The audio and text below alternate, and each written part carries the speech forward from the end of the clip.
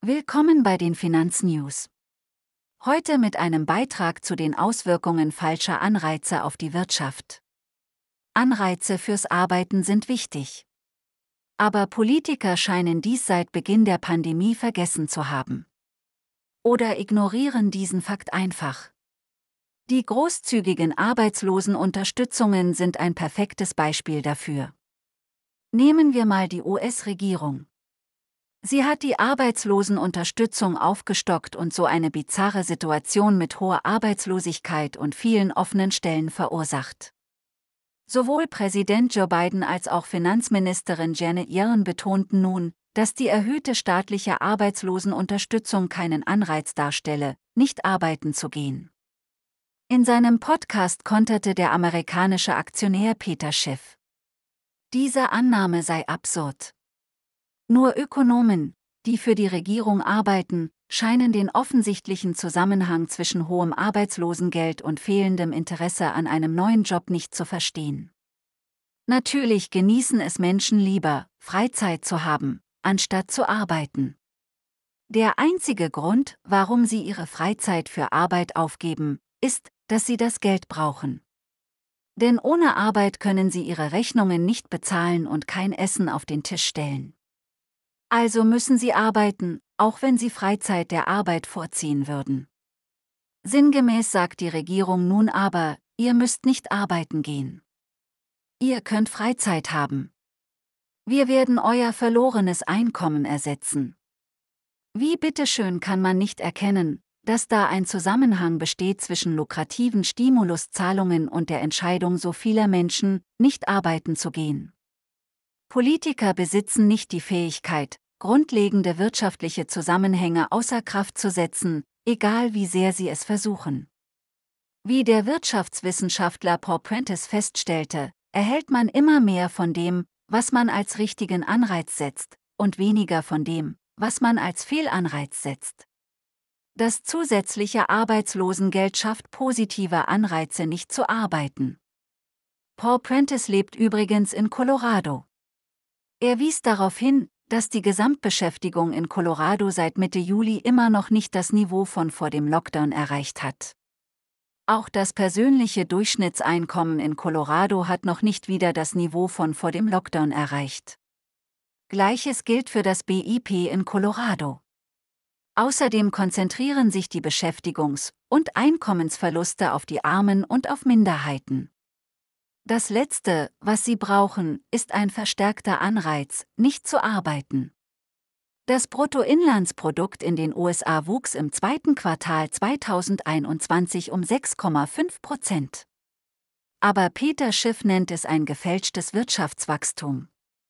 Wir hatten überhaupt kein Wirtschaftswachstum. Alles, was wir hatten, war, dass Leute Geld ausgaben. Und einer der Gründe dafür war, dass die Leute mehr Geld zum Ausgeben hatten. Prentice weist darauf hin, dass echtes Wirtschaftswachstum auf Produktion und Dienstleistungen aufbaut. Wenn man Menschen Anreize gibt, nicht zu arbeiten, indem man ihnen Geld zum Ausgeben gibt, entsteht eine Illusion von Wohlstand, die in Wirklichkeit die Wirtschaft untergräbt. Wenn weniger Menschen arbeiten und weniger Unternehmen ausgelastet sind, wird zwangsläufig auch weniger Einkommen generiert. Staatliche Zahlungen anstelle von Arbeitseinkommen mögen kurzfristig einigen Personen helfen, aber langfristig schaden sie der Wirtschaft. Ein Dollar an zusätzlichem Arbeitslosengeld hat nicht die gleichen wirtschaftlichen Auswirkungen wie ein Dollar auf produktionsbasiertem Arbeitseinkommen. Die Arbeitslosenunterstützung entzieht der Wirtschaft nicht nur die Grundlage, sondern schadet langfristig auch genau den Menschen, denen sie eigentlich helfen sollte. Für diejenigen, die während der Arbeitslosigkeit mehr Geld erhalten als vorher durch Arbeit, kann das kurzfristige Stimulusgeld den langfristigen Verlust des Aufstiegs auf der Karriereleiter, das Erreichen von Dienstaltersstufen und Gehaltserhöhungen nicht ersetzen. Auf soziologischer Ebene ist der Verlust an verdientem Selbstwertgefühl, der mit der Erwerbstätigkeit einhergeht, schwer kalkulierbar. Wenn Kinder die sozialen Vorteile erwerbstätiger Eltern nicht wahrnehmen, entsteht ein Generationsschaden. Das Arbeitslosengeld sieht auf den ersten Blick gut aus. Deshalb ist es bei Politikern so beliebt. Aber sie haben alle möglichen unsichtbaren Folgen. Prentice fasst den Schaden zusammen, welcher der Wirtschaft in Colorado durch die erhöhten Arbeitslosenunterstützungen in diesem Staat entstanden ist, so zusammen.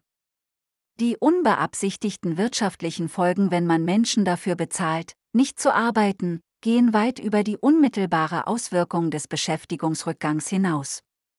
Woher soll das Geld kommen? Aus Steuern für die Schaffung von Arbeitsplätzen? Aus der staatlichen Druckerpresse? Vom kommunistischen China, das noch mehr US-Staatsanleihen kauft? Das schadet uns, da weniger Arbeitsplätze in den USA geschaffen werden.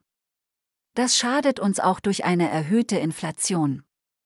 Das schadet allen, da wir einem Land, welches sich als weltweiter Feind der Freiheit erwiesen hat, durch Staatsanleihen noch mehr verpflichtet sind. Sie können die Gesetze der Wirtschaft ignorieren, aber nicht deren Konsequenzen. Welche Möglichkeiten hat man denn in solch einer Situation, sein Geld in Sicherheit zu bringen? Natürlich sind Sachwerte. Und im Sachwertbereich gibt es zwei große Favoriten und der erste Favorit ist Gold. Gold und Silber ist die Krisenwährung Nummer eins, sehr beliebt, natürlich auch sehr bekannt. Aber was machen Sie denn, wenn zum Beispiel während einer Krise die Geschäfte oder die Online-Shops geschlossen sind? Was machen Sie, wenn gerade alle kaufen wollen? Dann gibt es natürlich nichts mehr zu kaufen. Beziehungsweise die Preise sind in solch einer Situation, zu solch einem Zeitpunkt extrem überteuert. Was machen Sie, wenn Sie zum Beispiel Werte von A nach B transportieren wollen? Im Extremfall vielleicht sogar müssen. Eine Million in Gold sind ungefähr 27 Kilogramm. Haben Sie schon mal 27 Kilogramm in einem schweren Rucksack über längere Zeit getragen? Oder Sie wollen Gold unbemerkt in ein Flugzeug bringen. Wobei ich Sie jetzt wirklich nicht auffordern möchte, am Zoll vorbei äh, Gold in einem Flugzeug zu transportieren. Aber Sie werden mit großer Sicherheit nicht durch den Scanner kommen. Und man wird es Ihnen mit fast hundertprozentiger Wahrscheinlichkeit äh, wird man es Ihnen abnehmen. Sie können heute nicht so einfach eine Million in Gold durch die Gegend karren. Und eine weitere Frage in Bezug auf Gold, wie ist es mit der Meldepflicht? Warum gibt es diese Meldepflicht? Wussten Sie, dass jeder Goldkauf über 2000 Euro gemeldet wird? Und haben sich dabei schon mal gefragt, warum muss man überhaupt einen Goldkauf melden? Warum will der Staat wissen, dass Sie Gold zu Hause haben? Es steht in keiner Einkommensteuererklärung und es wirft auch keine Zinsen ab. Es fällt auch keine Kapitalertragssteuer an, die Sie abführen müssten. Also warum will der Staat wissen, warum Sie Gold besitzen? Meine Erklärung, ganz einfach, damit man am Ende ganz genau weiß, wo man es im Notfall wieder abholen kann. Der zweite große, scheinbar sichere Sachwerthafen sind Immobilien. Sehr beliebt als Sachwertanlage. Nur ist Ihnen dabei bewusst, dass man über die Grundsteuer jederzeit auf Ihre Immobilie direkt zugreifen kann. Und das hat man schon gemacht. Nach dem Zweiten Weltkrieg wurden auf alle Immobilien Zwangshypotheken eingetragen. Und zwar 50 Prozent bezogen auf den geschätzten Immobilienwert. Und über 30 Jahre hinweg mussten dann die Besitzer dieser Immobilien über eine erhöhte Grundsteuer das Geld zurückbezahlen. Auch jetzt sind schon wieder Bestrebungen im Gang, erhöhte Umlagen auf Immobilienbesitzer festzulegen. Doch es gibt noch eine dritte Möglichkeit, an die niemand denkt und die in Deutschland noch relativ unbekannt ist. Eine wirklich super Alternative, nichts Digitales mit echten Werten hinterlegt, die seit Jahrhunderten den Beweis erbracht hat, dass sie Vermögenswerte erhalten hat und auch gerettet hat. Und wenn Sie wissen möchten, was das ist, klicken Sie einfach auf den Like, teilen Sie dieses Video und ich verrate Ihnen gerne, um was es dabei geht.